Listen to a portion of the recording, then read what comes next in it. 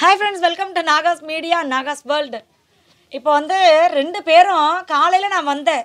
இப்போ வருவாங்க அப்போ வருவாங்கன்னு பார்த்தா ரெண்டு பேரும் குமார் அடிச்சிட்டு வந்திருக்காங்க போயிட்டு. ஆ மட்டனா? அப்புறம் என்னது? மட்டன் மீன் முட்டை. அது என்ன இந்த குடல்ல போட்டு என்னமோ வெங்காயம் ஊறுகாய். இதுல வர ஒரு ஆளு வெங்காயம் கொடுக்கலன்னு. ஏன்னா வெங்காயம் கொடுக்கல? ஏன்னா திருப்பி கொடுப்பாங்க அப்படியே முடுறது வர இல்ல. இது கூட வந்து இசை வாத்தியங்கள் வேற. கால் நடனம் ஆடிக்கிட்ட கை சாப்பிட்டுருக்குது ரெண்டு பேருக்கும். எங்களை வேற இடையில கூப்பிட்டாங்க. இதுக்கப்புறம் எங்க நம்ம கிளம்பி போறது அப்படி சொல்லி ஃபர்ஸ்ட் ஒரு மாதிரியா இருந்துச்சு. ஏன்டா வந்தோம் அப்படின்னு தோணுச்சு. இடத்துல அடிச்சு கொண்டாந்தாங்க. அந்த இசை தான் பார்த்ததுல செத்த வீட்டுல தான் பார்த்திருக்கேன். நானும் கல்யாண பார்த்திருக்கேன். மாதிரி காது குத்துக்கு கல்யாணம் இது மாதிரிலாம் கொண்டு இசை எங்க இருந்து வருது அப்படின்னு கேட்டா சரண்யா எங்க இருந்து வருது? எங்க தேவரட்ல தான் வைக்கிறது. வேப்பங்காட்டுல வீட்டுல தான் வரும் இசை அப்படிங்குது.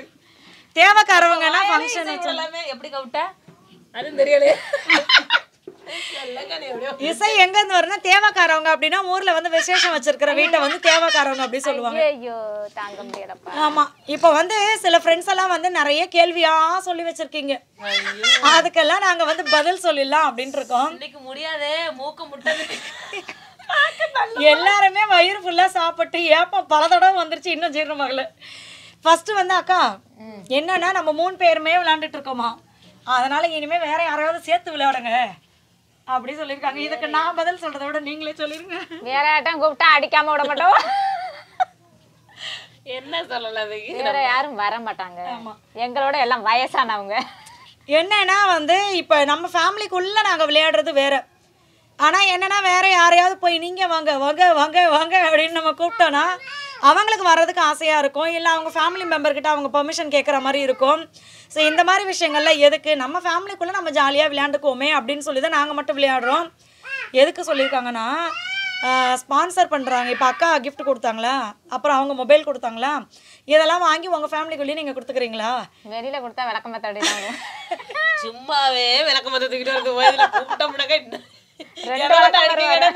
ரெண்டு வராது மூணு வரும் ஆளுக்கு ஒரு அடி. இருக்கிறேன் மூணு பேருக்கும். ஆமா. அதனால வந்து gift வந்து நம்மளே வச்சுக்கணும். எல்லாமே எனக்கே தான் எனக்கே தான் அப்படின்ற மாதிரிலாம் இல்லை. என்னன்னா இப்போ நம்ம ஃபேமிலிக்குள்ளே தான் கேம் வைக்கிறோம். இன்னொருத்தவங்களுக்கு போயிட்டு நம்ம கூப்பிட்டு அவங்களுக்கு வரதுக்கு இஷ்டமோ இல்லையோ இதெல்லாம் நம்மளுக்கு தெரியாது. எப்போவுமே இப்படி ஃபேமிலிக்குள்ளே விளையாண்டுக்கலாம் அப்படின்னு நாங்கள் நினைக்கிறோம்.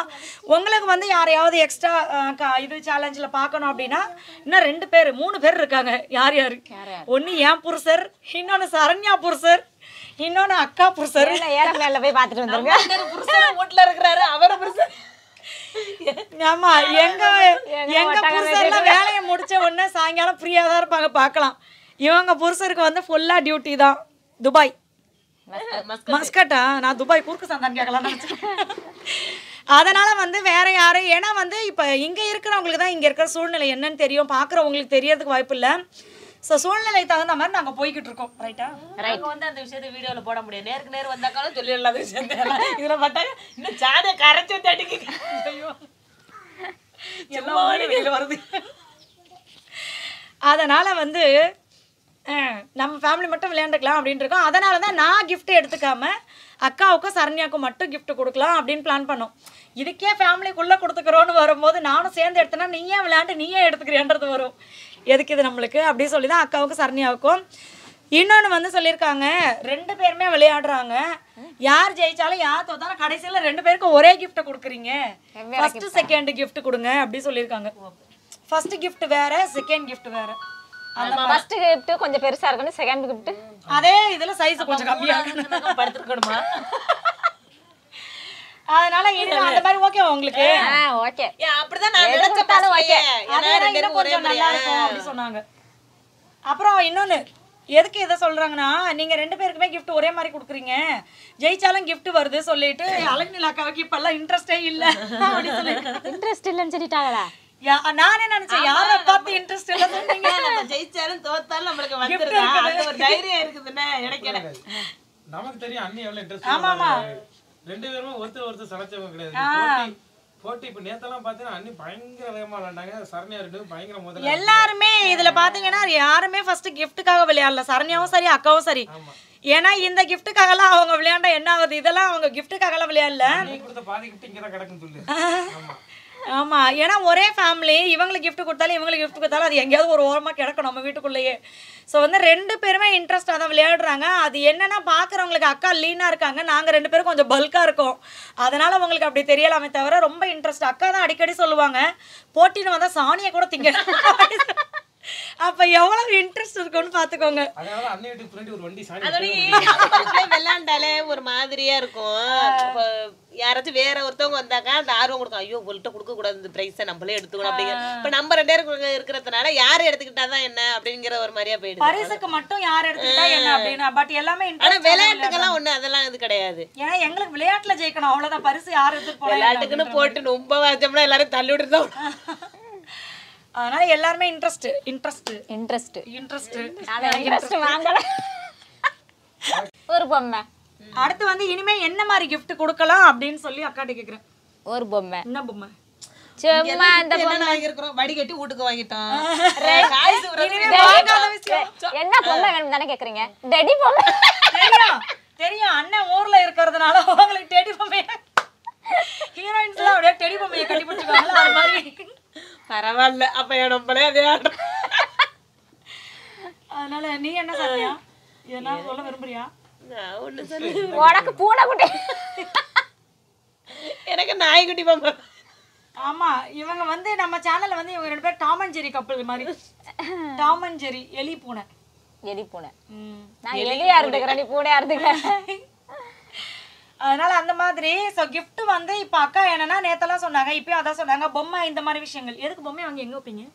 சும்மா ஒரு பிரிச்சு மேல வைப்பேன். இல்லைன்னா ஒரு இது மேல வைப்பேன். சும்மா நம்ம வந்து இப்போ வளையல் இந்த தோடு இது மாதிரி வச்சிட்டு இருக்கோம் வேற மாதிரி வச்சா ஆஹா இந்த ஃபர்ஸ்ட்ல நம்ம வச்சோம்னா இந்த கப்பு இந்த கிளிப்பு இந்த மாதிரி வச்சோம். அப்ப ஆர்வம் நம்மளுக்கு ரொம்ப கொடுத்துச்சு. ஐயோ அந்த கிளிப்பை தான் நம்ம எடுக்கணும். அப்புறம் ஒரு ரோஜா பூச்செடி. இல்ல இது மாதிரி வேண்டாம் ஆ பூச்செடி எல்லாம் வைக்கலாம். அந்த ரெண்டு ஒரு தா என்ன, ரோஜா மாதிரி தோடு மாதிரி தோடு மாதிரி வச்சிருந்தோம். அது வந்து ஆர்வப்பட்டு நம்மளுக்கு அந்த தோடு தான் வேணும் அப்படின்னு நம்ம எடுத்தோம்.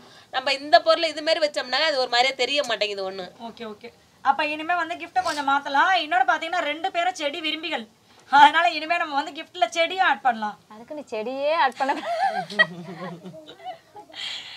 ஏதோ ஒரு நாளைக்கு செடி ஒரு நாளைக்கு இடம் செடி ஃபில் ஆனதுக்கு அப்புறமா அதுக்கப்புறம் செடி gift விட்டுட்டு அடுத்த giftக்கு தாவிர வேண்டியதுதான். அது வைக்கிறதுக்கு இடம் இல்லையே. நாளைக்கு முத gift கருவேப்பிலை செடி. எங்க இருந்தாலும் புடுங்கின்னு வந்து இருந்தாங்க ரோஸ் நாளைக்கு வந்து இந்த rose கொடுத்தலாம் yellow rose yellow rose Bangalore rose கொடுத்தலாம் வேண்டாம். பெங்களூர் ரோஸ்ல எல்லோ எல்லோ ரோஸ் செடி நாளைக்கு gift கொடுத்தலாம் முத முதல்ல மங்களகரமா இருக்கானு இருக்கே. உங்கள்ட்ட எல்லோ வேற கலர் வாங்கிக்கலாம். எனக்கு ஒயிட் வேணும். ஒயிட் அது யாருக்கு உள்ளதோ மாத்திக்க வேண்டியது. எது இருக்கோ மேல பெயிண்ட் அடிச்சு அது மாதிரி யூஸ் பண்ணீங்க. ஸோ ரோஸுக்கு ரோஸ் செடி நாளைக்கு நம்ம gift கொடுத்துருவோம். ரோஸ்னா ஒரே ரோஸா வேண்டாக்கா இப்போ ரோசா ரோஸ் செடி ஒண்ணு அப்புறம் வந்து இந்த காக்கரட்டான் செடி பூ இருக்குதுன்னா அந்த மாதிரி அப்புறம் வந்து இந்த அரளிப்பூ ஓகேவா இந்த மாதிரி மாத்தி மாத்தி வாங்கிக்கலாங்க அப்பதான் ஏன்னா ஒரே செடியா இருந்துச்சுனாக்கா ஒரு மாதிரியா இருக்கும் நம்மளுக்கு. மாத்தி மாத்தினாக்கா அந்த ஆசை கொடுக்கும். ஃபர்ஸ்ட் சாமிக்கு உள்ள சாமிக்கு எந்த செடி யூஸ் ஆகுமே அது வேணாம். ஃபர்ஸ்ட் அரளி செடி. ஸோ இனிமே வேற வேற செடி. அப்புறம் வந்து நம்ம மூணு பேரும் சும்மா தானே இருக்கோம் எதனா வீட்ல எதனா பண்ணலாமே அப்படின்னு. நம்ம அன்னைக்கு பிசினஸ் மாதிரி பேசிட்டு இருந்தோம்ல. சோறு குழம்பு காய்ச்சி சாப்பிடணும்? தான் போகுது பள்ளியோட ஏ சாப்பிட்றேன். இங்க கொண்டு வர மாட்டாங்க. கல்லறையில வச்சு வச்சிருந்தோம் ஒன்பது மணி வரையும் தான் எனக்கு வேலை. ஆமா ஒன்பது மணில இருந்து நாலரை மணி வரை. நான் பேட்டி எடுக்கலாம் உட்காந்து இங்க தனியா பேட்டி போயிட்டு இருக்குது. அடுத்து வந்து ஒரே கேமா போடுறீங்களே. விலாக் நான் போடுவேன்ல. ஸோ அந்த மாதிரி விலாக் போட சொல்லியிருந்தீங்க. அப்புறம் வந்து எங்கள் மூணு பேரையும் சமைக்க சொல்லியிருந்தீங்க. அப்புறம் இவங்கள இவங்களையும் சமையல் போட்டி வைக்க சொல்லியிருந்தீங்க. ஸோ நம்ம ரெண்டு அடுப்பு செட் பண்ணிட்டு ரெண்டு பேருக்கும் ஒரே ஐட்டத்தை கொடுத்து சமையல் போட்டி வைக்கலாம்னு நினச்சிருக்கேன் நான். அது யாரு வந்து சாப்பிடுறது? சபாபதி வர போறாரு வேற என்ன நான் தான் சாப்பாட்டுறாம இருக்கேன். அப்புறம் என்ன சபாபதி எவரு? செப்பு. தாமு சார். தாமு சார் வர போறாரா? ஆ, வரவா போறாரு நாளைக்கு. நீங்க ரெண்டு பேரும் அதிகமா சமையல் போட்டியில வச்சு வச்சு எப்படி அதை வந்து இன்ட்ரெஸ்ட் ஆயிடுச்சுன்னா ஷெஃப் தாமு சார் கிட்ட கையை காலை பிடிச்சாவது இழுத்து. ஐயா ஒரு வாட்டி வந்து நீங்களே சொல்லுங்க. அவர் வர்ற இடத்துல உரப்பள்ளி கொட்டி சிவா.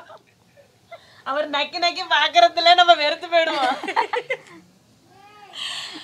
அதனால் எதுக்கு ஒய் ஆல்வேஸ் கேம் அப்படின்னு கேட்ட சிஸ்டர்ஸ்க்கு வந்து என்னென்னா இப்போ வீட்டில் இருந்து நான் ஒரு விலாக் பண்ணுறதுக்கும் வெளியில் வந்து இவங்க கூட இருக்கிறதுக்கும் ஃபஸ்ட்டு வந்து எனக்கு மைண்ட் ரிலாக்ஸாக இருக்குது. ஏன்னா ஒரு நாலஞ்சு நாள் இருக்கும் இவங்களுக்கு செல்லுடன் எனக்கு கூட தெரியும். வீட்டில் உட்காந்து அப்பப்பா அழுகுற வேலையாகவே இருந்தேன் நான். எனக்கே தெரியல அது எப்போ பாரு கதவு மூடிட்டு மகி வெளியில் வந்துடுவாங்க நான் பாட்டிங்க பார்த்தீங்கன்னா கொஞ்ச நேரம் அழுவேன் கொஞ்ச நேரம் இவங்க கூட விளையாடுவேன். சமைப்பேன் இப்படியே போயிடுச்சு. ஆனால் எப்போ வந்து இங்கே விளையாட வந்தேனோ அது வந்து எனக்கும் மைண்ட் ரிலாக்ஸாக இருக்குது. எனக்கு அது என்னவோ அது ஏதோ ஒரு ஹாப்பியாக இருக்குது. சென்னையிலேருந்து வந்ததுக்கு பலனே இப்போ தான் இருக்க மாதிரி இருக்குது.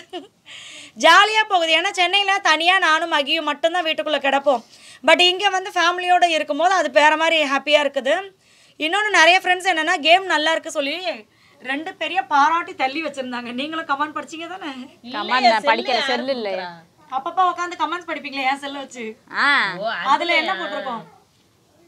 அதில் நல்லா தான் போட்டு சுப்பிரமணியம் குருகுலம் மண்டே மண்டே வட்டுறீங்க ஒரு பத்து நாள் ஆகட்டும் நம்ம வந்து சூப்பர் ஸ்மார்ட் போன் நம்ம ரெடி பண்ணிடலாம் கிஃப்டடா ஓகேவா சூப்பரா ஸோ அது ரெண்டு பேருக்குமே கொடுத்தானல்ல?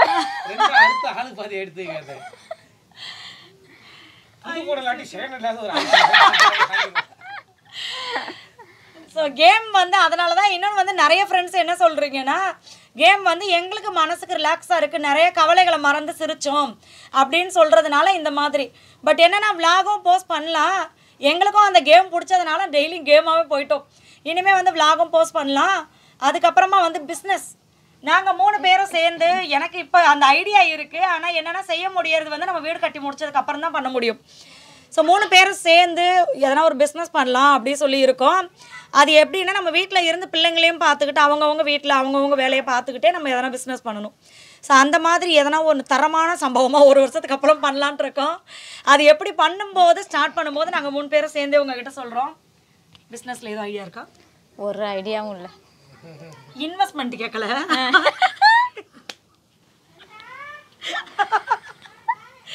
என்ன கை இப்படி இப்படி போகுது?